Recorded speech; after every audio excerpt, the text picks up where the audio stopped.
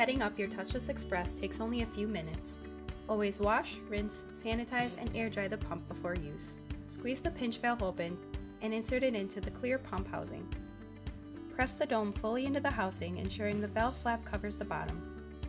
There should be no gaps between the dome and the housing. Then, wrap the loop around the lower opening to secure the dome.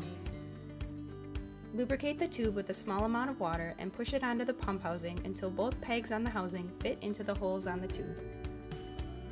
Lubricate the tube with a small amount of water and rotate to position the connector into the tube until both pegs fit into the holes on the tube. Next, choose your discharge fitting size. Small for thin syrups and hot sauces, medium for ketchup and most other sauces and condiments, or large for relish, tartar sauce, or dressings with particulates. Push the discharge fitting into the pump housing and place the loop over the peg to secure. To attach the pump to the pouch, hold the connector over the pouch fitment and press down. A snap indicates a secure connection, and there should be no space between the pouch and the connector. To prime the pump, squeeze the dome until food product reaches the discharge tube. Place the pump and pouch into the pouch support.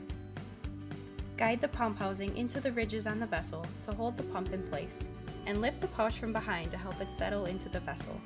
Align the slots in the lid with the notches on the vessel. Pull the spring release at the back of the unit to fully install the lid.